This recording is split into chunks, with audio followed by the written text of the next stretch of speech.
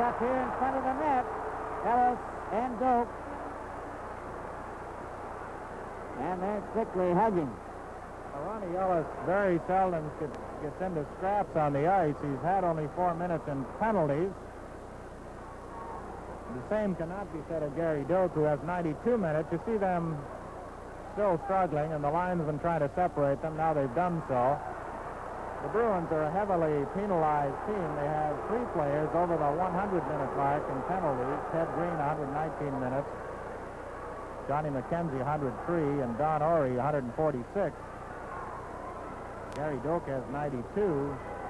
Derek Sanderson, not dressed tonight, has 90 they've taken their uh, share of time in the penalty box. Among the Leafs, the most penalized player is Tim Horton with 72 minutes.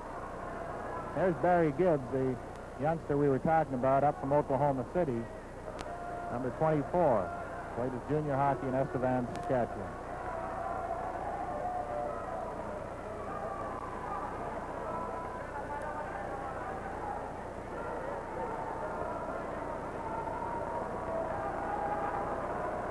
Ellis and Doak go to the penalty box. Six minutes and 39 seconds remaining to play in the game. They'll play five aside with Toronto leading Boston 2 nothing.